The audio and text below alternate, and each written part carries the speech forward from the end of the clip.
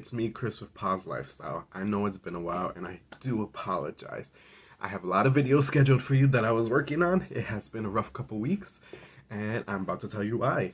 So, um, maybe in goodness, like January, February, March, April, April 25th, I went for my first Corona shot, so which means a month later, on May 25th, I went for my second Corona shot. And let me tell you, those two experiences were so different. The first time I got my Corona shot, I was worried because I'm living with HIV. I didn't know what to expect. I thought I would have flu-like symptoms and all that extra stuff. But it didn't happen. I was fine. Even the next day, I went to my pole dancing classes and everything was beautiful. However, this last second shot, which you're supposed to do 30 days later, was a BITCH. Let's just say that.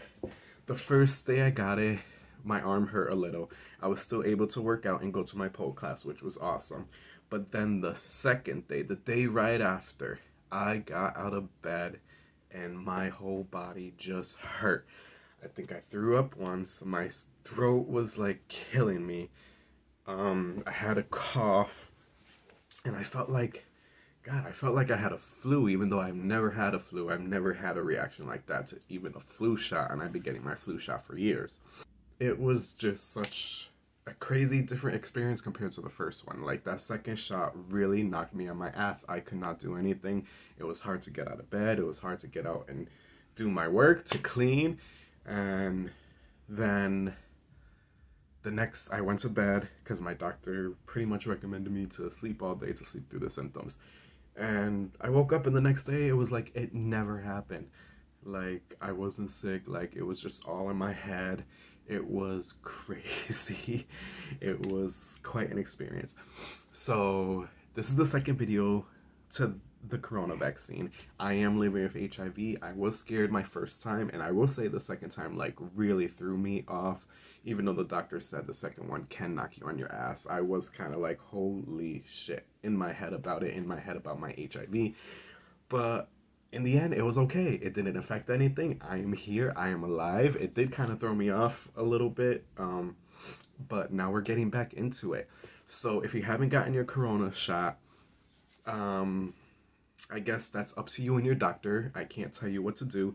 I did it personally because I want to travel more and unfortunately you needed to travel and I want to protect myself, my family, and others. I really didn't want to do it because it's so recent, but unfortunately you have to make sacrifices to live the life you want and I want to do a lot of traveling and I want to protect the people I love. So if you can, feel free to take that corona vaccine. It will not affect you, your antiretroviral medications, your HIV, or anything. I will say the second dose kind of was like, holy shit, but you will be okay. Thank you for watching. Again, I apologize so much for the long wait for these videos, but got some good content for you. Alrighty, take care, stay safe. If you're not vaccinated, please wear a mask and consider getting vaccinated. I know it's a hard sell, and I'm not telling you to go do it.